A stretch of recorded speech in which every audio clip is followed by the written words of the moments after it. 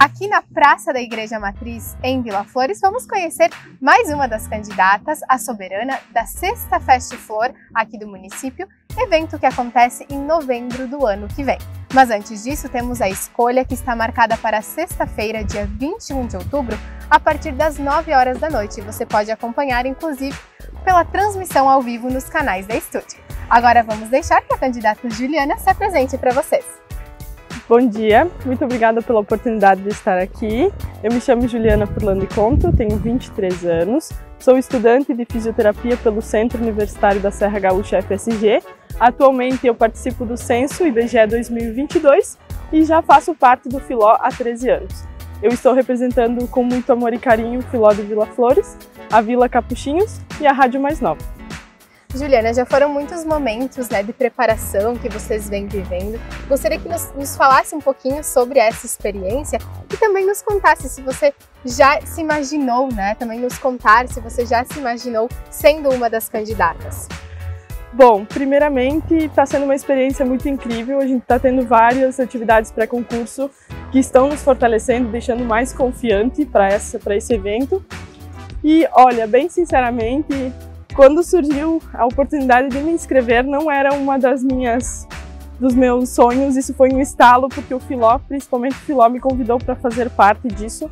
E como eu já trabalho com turismo e vejo quanto os nossos turistas saem daqui felizes e bem acolhidos, isso me deu muita vontade de fazer parte dessa edição e poder então me inscrever para pelo menos ter essa experiência está tendo com certeza né, muita troca de experiências sobre a Festa Flor também, né? Além de estudar o município, estudar essa festa. Uhum. E o que, que ela representa aqui para Vila Flores? Bom, a Festa Flor ela veio para contar um pouquinho da história dos nossos imigrantes italianos que aqui chegaram. Além disso, ela vem também para enaltecer as nossas potencialidades e belezas e também para acolher toda a nossa, a nossa agroindústria, né, os locais e regionais, para mostrar todos os nossos potenciais, para mostrar o quanto o nosso povo é muito acolhedor e eu acho que isso é o mais importante de tudo, né?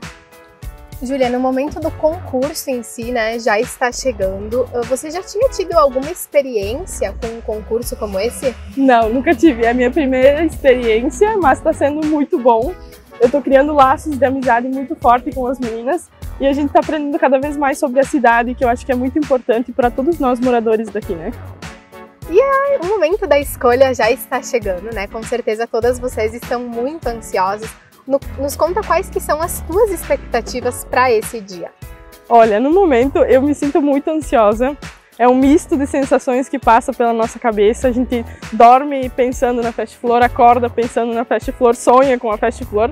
Mas as minhas expectativas para o momento, para o dia, são as melhores possíveis. E eu acho que quem ficar no trio vai, vai ser muito bom, porque todas nós estamos já bem preparadas para isso e vamos fazer o melhor para dar uma melhor festa. E caso você esteja nesse trio, o que, que o povo de Vila Flores pode esperar de ti? Olha, muita dedicação. Eu quero me envolver totalmente com essa festa, porque eu gosto muito do município de Vila Flores.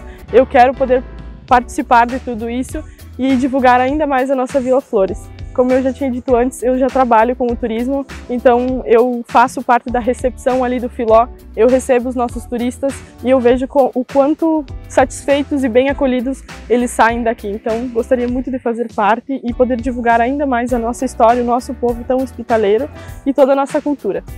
Muito obrigada, Juliana, foi um prazer.